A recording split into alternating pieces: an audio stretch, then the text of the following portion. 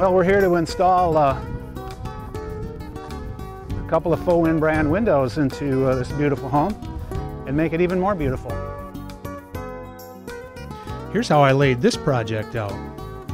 I took the total length of the wall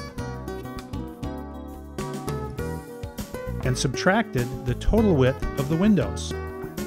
I divided that length by the number of spaces needed resulting in a distance between the units. I was mindful that there will always be one more space than windows used. Well, as you can see, we've got the first window set. Looks great. It's a vast improvement on this home. Um, and what we're going to do now is we're going to move to the second one and uh, we'll walk you through the, uh, the, the, setting of that one so that uh, it answers all of your installation, window installation questions. Well, we've, we've unboxed our window. As you can see, for shipping purposes and installation purposes, we do them in two pieces. You'll notice that we have grooves on the bottom of the top unit, and we have matching biscuits on the top of the bottom unit. That holds them together, keeps them aligned, and what we're going to do is we're going to uh, we're going to go in, we're going to mark the location of the window and set the bottom first and we'll let gravity be our friend. We'll set the top, catch them, and uh, uh, we'll be uh, done with our installation. What I've done is I've made some marks on this wall. I went from the end, seven foot seven takes us to the outside of the surround, three and a half inches from that takes us to the outside of the window, top of the window, which matches the other, which matches the front of the house, is located right there. I've taken a measurement down 48 inches because I'm going to set the bottom section first. The bottom section will set at this height and at that line right there. This is the location for it. Once we get that in place, then we'll let we'll set the top on. Gravity will be on our side. Well, here's our second half of window. It's actually a four foot window, but since we're using half of it, it's nice and light.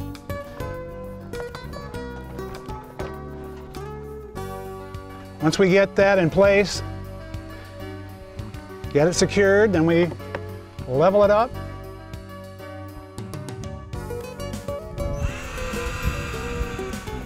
You can see our, uh, our tape marks are up here. We've got the uh, bottom section uh, located where we want. Level is on it. It's nice and level and in place. And now what we'll do now is put our top half in place and secure it. We've got a biscuit coming out of the bottom. We have a slot to accept that biscuit in the top piece, you merely set them together, line it up, and it's ready to go. And now what we'll do is we'll set our uh, pilot hole and secure it. The units are very light. Doesn't take much to secure them. We're securing these with number eight by two and a half inch screws all pre-drilled, so it's just a matter of uh, running a pilot through your substrate, run the screw in, and uh, it's, it's done.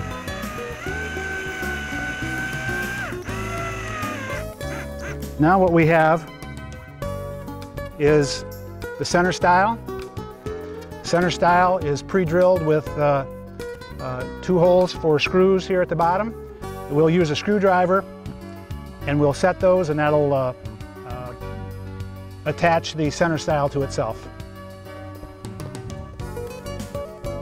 Not a lot of room here, that's why uh, we tell you to use a screwdriver because the uh, guns are just a little bit too large for this application. Well here's the surround for this unit. Three foot in width, 48 inches in height. Uh, it's got about an eighth of an inch uh, gap. These are solid vinyl units as the windows are solid vinyl. And so uh, we've got to leave a little room for expansion and contraction. And uh, eighth of an inch does it. Uh, all pre-drilled and ready to go. We're gonna set it in place now. Got it in place. I'll pre-drill the holes, set the uh, number eight by two and a half inch screws and uh, it'll be done.